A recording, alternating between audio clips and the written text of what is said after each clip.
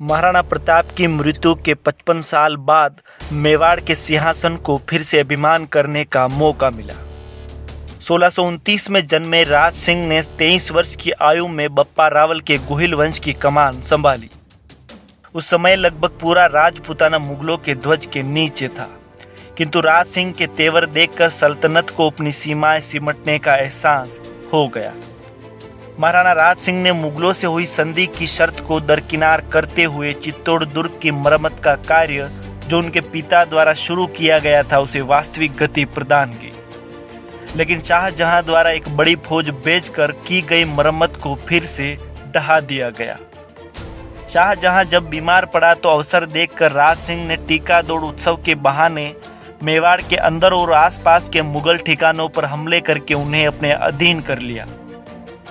सोलह में किशनगढ़ के महाराजा रूप सिंह औरंगज़ेब और दारा शिकोह की तख्त हेतु सजी रणभूमि में दारा शिकोह की तरफ़ से क्षत्रिय धर्म हेतु बलिदान हो गए। 1660 में औरंगज़ेब ने महाराजा रूप सिंह की खूबसूरत राजकुमारी चारुमती से विवाह करने के लिए संदेश भिजवाया। उस समय राजकुमार मान सिंह मात्र पाँच वर्ष के थे और वहीं किशनगढ़ एक छोटी रियासत थी। वे औरंगज़ेब के खिलाफ जाने में असमर्थ थे। राजकुमारी चारुमती की इच्छा के विरुद्ध विवाह का प्रस्ताव स्वीकार कर लिया गया।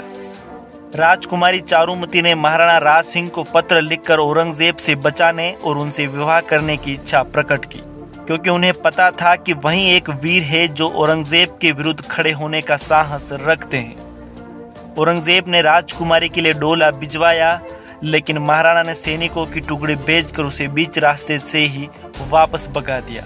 और किशनगढ़ बारात लेकर पहुँच गए। राजकुमारी चारुमती से विवाह किया और उन्हें उदयपुर ले आए। राज सिंह सिर्फ़ राजकुमारी को नहीं लाए थे, वे औरंगज़ेब की नाक भी काट लाए थे।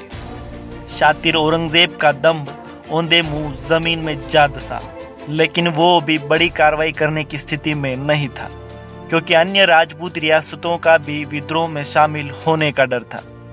औरंगज़ेब कीचड़ का घूट पीकर रह गया। सोलह में औरंगज़ेब ने जजिया कर को फिर से लगा दिया, जो अकबर ने अपने शासनकाल में बंद कर दिया था। यह गैर मुस्लिमों पर इस्लाम न मानने पर लगने वाला कर था।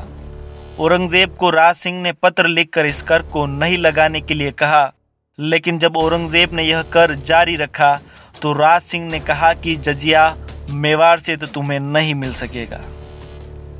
छत्रपति शिवाजी महाराज ने भी औरंगज़ेब को लिखे पत्र में कहा कि अगर हिंदुओं पर जजिया लगाना चाहते हो तो पहले मेवाड़ के राणा राज सिंह से जजिया कर लेकर दिखाएँ, फिर दूसरे हिंदुओं से ले। दुर्गादास राठौड़ जोधपुर के राजकुमार अजित सिंह को औरंगज़ेब से बचाने के लिए भटक रहे थे। औरंगज़ेब का आदेश था कि कोई उन्हें शरण नहीं देगा। राणा राज सिंह ने न सिर्फ़ उन्हें शरण दी, बल्कि एक जागीर भी उन्हें सौंप दी। एक अनाथ बालक के अधिकारों की रक्षा से ऊपर उनके लिए न कोई बादशाह था, न कोई संधि और न ही कोई सल्तनत। अब हिंदुस्तान के शहनशाह औरंगज़ेब के लिए राज सिंह बिल्कुल असहनीय हो गए। 1680 में औरंगज़ेब सेना लेकर उदयपुर की ओर निकल पड़ा। जब वह उदयपुर पहुँचा तो रणनीति के तहत राज सिंह महलों को छोड़ पहाड़ों में आ गए, जिससे गुरिल्ला तकनीक से लड़ाई की जा सके। औरंगज़ेब ने उदयपुर में अपने धार्मिक कार्यों को प्राथमिकता देते हुए तिरसठ मंदिरों को तोड़ा और अजमेर लौट गया। लेकिन शहजादे अकबर की अगुवाई में उसकी एक शक्तिशाली सेना चित्तौड़ में मौजूद रही। मेवाड़ की सेना ने फिर छापामार युद्ध करके मुगलों की सेना को तहस नहस कर दिया और उनके कई हाथी और घोड़े लूट लिए। मेवाड़ की सेना पहाड़ों से आती और मुगलों को रोंद के चली जाती। राणा राज सिंह के पुत्र भीम सिंह ने पिता के आदेश पर औरंगज़ेब के मंदिरों को तोड़ने के बदले के रूप में गुजरात में बहुत भयंकर कदर मचाया। भीम सिंह ने गुजरात में 200 मस्जिदें तोड़कर औरंगज़ेब के कर्ज का भरपूर ब्याज देके चुका दिया। उसके बाद मुगल शहजादे अकबर को बागी बनाकर अजमेर में औरंगज़ेब पर आक्रमण करने की पूरी तैयारियाँ कर ली, लेकिन औरंगज़ेब ने धूर्ततापूर्वक महाराणा को जहर दिलवा दिया। इस कारण 22 अक्टूबर 1680 को मेवाड़ी शेर ने इस जगत से विदा ली